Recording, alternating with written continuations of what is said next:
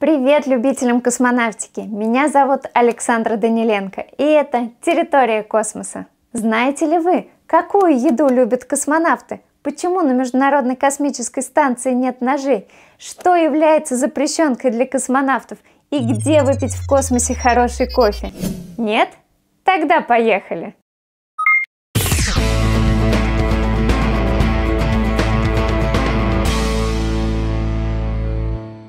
Добро пожаловать за наш космический стол! Сегодня у нас в меню рассольник, свинина с мясным пюре и, конечно, лакомство – творог на десерт. Из напитков – яблочно-вишневый сок. И все это настоящая космическая еда, только упакованная в тюбики, которыми космонавты давно уже не пользуются. А как она выглядит сегодня, поговорим в этом выпуске.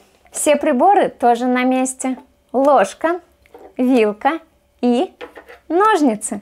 Да, именно из этих предметов состоят столовые наборы у космонавтов. Удивлены? Тогда давайте начнем именно с космического этикета. Космический этикет практически первое, чему учат космонавтов. Космонавты давно уже не питаются желеобразной массой из тюбиков. Сегодня это обычные земные продукты, подвергнутые процедуре сублимированной сушки. Это сложный технологический процесс, когда все ингредиенты замораживаются жидким азотом, до температуры минус 27 градусов по Цельсию, потом соединяются в определенной последовательности, а затем стерилизуются и помещаются в вакуум – который обрабатывается высокой температурой и давлением. Так, например, борщ готовится около 7,5 часов. Это позволяет практически полностью, до 95%, сохранить в них питательные вещества, витамины, микроэлементы, естественный запах, вкус, цвет и даже первоначальную форму. При этом срок годности таких продуктов достигает 5 лет – а их вес снижается почти на 70%. Кроме того, пластиковая упаковка гораздо легче, компактнее и удобнее, чем алюминиевые тубы. Ведь мы помним, насколько критичным вес становится при запуске в космос. Что же такое космический этикет? В первую очередь, это, конечно, безопасность. Дело в том, что для восстановления продуктов к ним нужно добавить воду.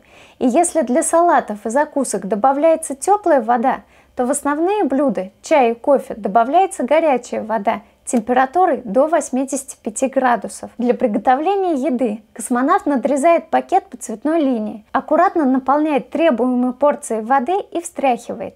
Если все сделать правильно, пакет можно безбоязненно переворачивать. Двухслойная упаковка и специальный клапан заблокируют содержимое и не дадут ему вылиться. Иначе можно обжечься, а ожоги крайне плохо заживают в космосе. Как только блюдо приобретет нужную консистенцию, упаковка надрезается с противоположной стороны и готова к употреблению. Весь обед готовится 10-12 минут.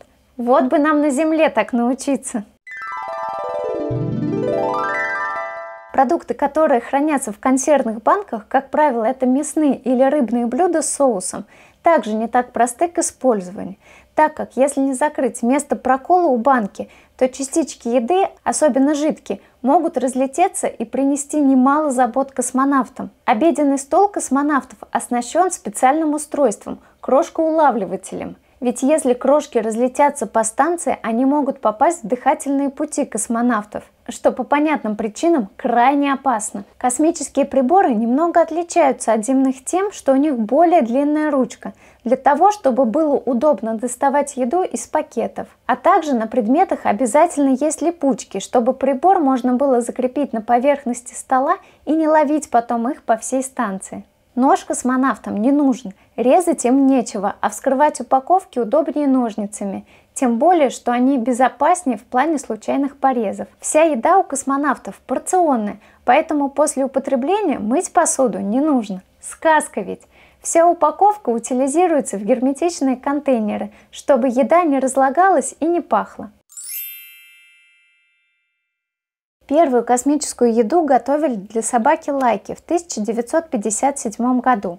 Для нее был разработан специальный контейнер, из которого дважды в день должна была подаваться желеобразная питательная смесь, содержащая в достаточном количестве белки, жиры, углеводы, витамины и воду. В последней порции еды содержался яд, так как возвращение Лайки не было предусмотрено. Однако собака погибла до того, как должна была попробовать еду. Для космонавтов очень важно получать натуральное, качественное и сбалансированное питание, чтобы поддерживать организм в форме. Все блюда готовятся из экологически чистых продуктов без красителей, консервантов, усилителей вкуса и запаха. Поэтому вне зависимости от страны космическим питанием занимается целая команда диетологов, врачей и микробиологов. В нашей стране первым и единственным производителем еды для космонавтов является Бирюлевский экспериментальный завод, город Москва. Завод производит все, кроме сырных изделий, хлеба и рыбной продукции. Он был основан в 40-х годах 20 века – и занимался обеспечением солдат на фронте мясным провиантом. Затем у предприятия добавились космические задачи. С учетом того, что первые космические полеты были довольно краткосрочны и длились всего несколько часов, основной целью употребления пищи было исследование, что происходит с организмом в невесомости, усвоится ли еда в таких условиях. Первым еду в космосе попробовал Юрий Гагарин – у него на завтрак были три тюбика по 160 грамм, два с мясом и один с шоколадом. Полет второго космонавта Германа Титова в августе 1961 года длился 25 часов и сопровождался трехразовым питанием. Рацион был расширен.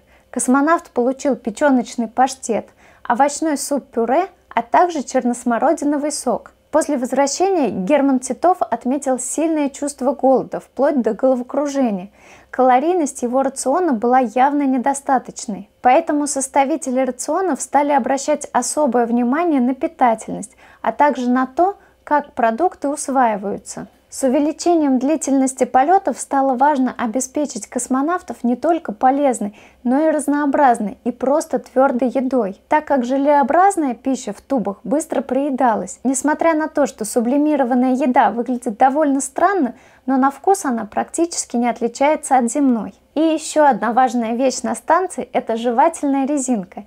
Из-за недостаточного слюноотделения зубы подвержены появлению зубного камня. Жвачка помогает очистить зубы от ненужного налета. В рацион российских космонавтов входит около 300 блюд. Меню составляется на 16 дней, то есть каждый день новый набор блюд. Затем все повторяется. Питание у космонавтов четырехразовое из расчета потребления 3000 калорий в день. Стоимость такого питания в день около 25 тысяч рублей. Космонавты могут высказывать свои предпочтения. Они дегустируют блюда и ставят им оценки по 10-бальной шкале, что нравится, что нет. Блюда, получившие меньше 5 баллов, не попадают в рацион космонавта, но меню все равно формируется специалистами, чтобы еда была сбалансирована и полезна. Кроме того, в космосе, в том числе под влиянием постоянного сильного шума, большей сухости и других факторов, меняются ощущения от вкусовых и обонятельных рецепторов человека. Вспомните, что-то аналогичное происходит на борту самолета, когда пассажиры начинают отдавать явное предпочтение томатному соку. Слегка подсоленный томатный сок помогает сохранять водно-солевой баланс во время перелета. Человек на Земле может обожать какое-то блюдо, а в космосе испытать к нему полное отвращение. Такое встречается нечасто, но все же бывает. Ну и в конце концов, космонавты тоже люди – и иногда им хочется съесть что-то не по плану, а по зову сердца, ну вернее по зову желудка. Поэтому режим периодически нарушается. Но только тссс. Так что же едят космонавты? Супы, борщ, рассольник с мясом, харчо, рисовый суп, гороховый суп-пюре, крестьянский и множество других. На второе в консервных банках тушеная свинина с перцем, лещ в остром соусе – мясо цыплят в белом соусе, судак по-польски, баранина с овощами, голубцы и щуки, омлет с куриным мясом, азу и другие блюда.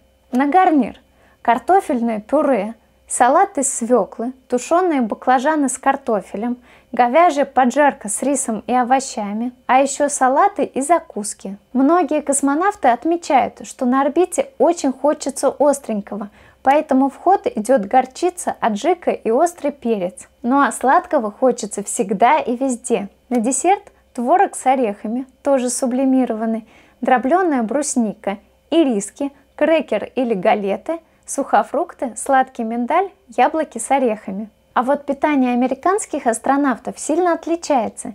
Дело в том, что в отличие от российской части станции, у американцев есть холодильник и микроволновая печь. Поэтому американцы по-настоящему готовят еду из полуфабрикатов непосредственно на МКС. В последние годы агентство НАСА постепенно начало переходить на сублимированное космическое питание, являющееся полным аналогом российского. На данный момент в рационе американцев 50% составляют полуфабрикаты, а 50% сублимированная еда. У астронавтов из других стран есть свои национальные особенности, хотя общая концепция космического питания схожа с Россией и Америкой. Японская космическая миссия регулярно доставляет на орбиту рыбу, суши и традиционную лапшу. И даже в качестве эксперимента японские космонавты иногда используют палочки. Французы берут с собой в космос трюфели и гусиную печень.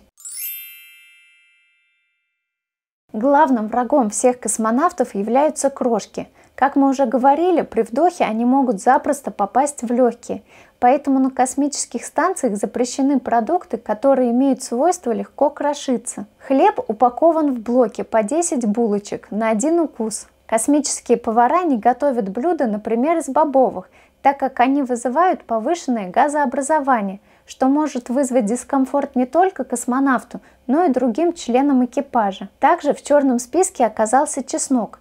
Замкнутое пространство на станции не позволяет запахам долгое время выветриваться – Форточку ведь не откроешь. Случаются и курьезные случаи. Во время одной из экспедиций французский космонавт решил провести на станцию «Мир» традиционный сыр с плесенью. К счастью, контрабанду вовремя обнаружили и отобрали. Споры плесени могли нанести настоящий урон биохимической сферы космической станции. А вот советским космонавтам на случай торжеств в рацион космонавтов включили даже коньяк. Правда, продлилось это совсем недолго. Очень забавные истории на эту тему рассказывал летчик-космонавт Георгий Гречко. Георгий Михайлович был потрясающим человеком, такой скромный, открытый, с великолепным чувством юмора. Это был первый космонавт, с которым мне посчастливилось пообщаться. Четыре часа, затаив дыхание, я слушала его рассказы, но это тема отдельного выпуска. А сейчас про коньяк. Во втором полете с Юрием Романенко космонавтам от предыдущего экипажа досталась фляжка коньяка целых полтора литра. Разделив его на двух человек и на 200 суток, получилось по 7,5 граммов в сутки на человека. Космонавты использовали его в качестве вознаграждения за хороший день перед сном. Чувствуется алкоголь в невесомости гораздо быстрее, чем на Земле.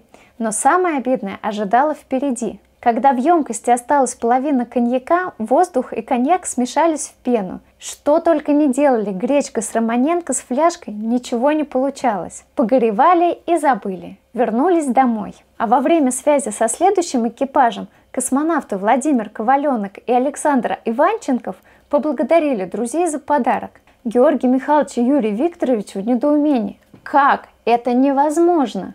Технология оказалась очень простой.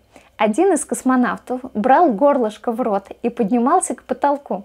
Второй бил его по голове, и когда тот вместе с фляжкой летел вниз, коньяк по инерции устремлялся ему в рот. Вот так, поколачивая друг друга, они допили коньяк. После этого любимая фраза Георгия Михайловича была «Кроме высшего образования, надо иметь хотя бы среднее соображение». Космонавты на Международной космической станции всегда очень дружны. Они с удовольствием угощают друг друга своей едой, а по воскресеньям устраивают совместный обед. Так на станции космонавты все вместе делали пиццу, отмечали день бургера на МКС. Правда, вместо хлеба использовали тортилью. Крутили суши под руководством японского астронавта Наришеги Канаи. Но абсолютно все космонавты признаются в любви к космическому творогу. При этом его уже давно распробовали и другие обитатели станции. Поэтому на российский творог космонавты могут выменить практически все, что угодно. Российские космонавты всегда с нетерпением ждут грузовики, ведь с ними всегда присылают свежие овощи, фрукты и другие сладости. Земные ароматы очень дороги в космосе. Как шутят космонавты, вырастить зеленый лук на МКС несложно, а вот спасти его от экипажа почти невозможно. Все норовят его скорее слопать. Американцы четыре раза в космос брали даже мороженое. Самым известным из них стало мороженое фирмы Whirlpool. Да-да, это именно те, кто делают стиральные машины. В 60-е в США системами питания для космонавтов нередко занимались компании-производители стиральных машин и сушек. Такое мороженое космонавтов можно купить в любой сувенирной лавке космического музея за рубежом. Когда пробуешь его, сначала очень странное ощущение, но после того, как мороженое растворяется в слюне, чувствуешь настоящий вкус мороженого – сливочного, клубничного и шоколадного космосе такое мороженое побывало лишь однажды на борту Аполлона-7 в 1968 году. Ну и напоследок. Раньше на станции был только растворимый кофе, но итальянцы были бы не итальянцами, если бы не изменили ситуацию. Во время одной из миссий итальянские астронавты привезли на орбиту отличную кофеварку, разработанную специально для условий невесомости известными итальянскими кофейными компаниями – Лаваца и Агротек. Теперь есть где выпить хороший кофе в космосе. Послушайте, мы столько времени сидим за столом и все болтаем, вместо того, чтобы скорее попробовать космическую еду. Хотя, кажется, у меня есть идея получше. А вот кому я доверю продегустировать и оценить космические дары, смотрите в следующем выпуске. Ну а на сегодня это все факты. По-моему, они были очень аппетитные. Спасибо за внимание. Если вам было интересно, подписывайтесь на мой канал, ставьте лайки, пишите в комментариях свои предложения по темам новых выпусков. Желаю вам космических успехов. Пока-пока!